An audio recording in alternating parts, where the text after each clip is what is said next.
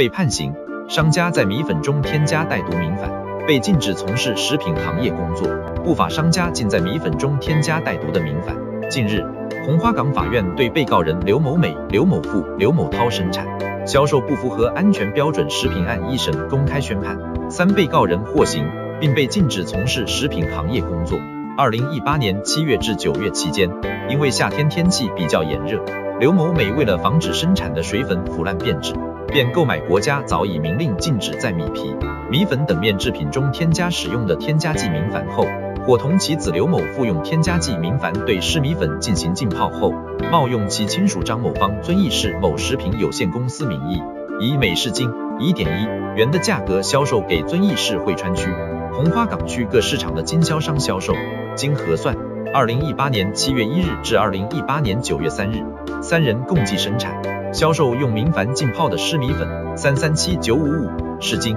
销售金额达三十七万一千余元。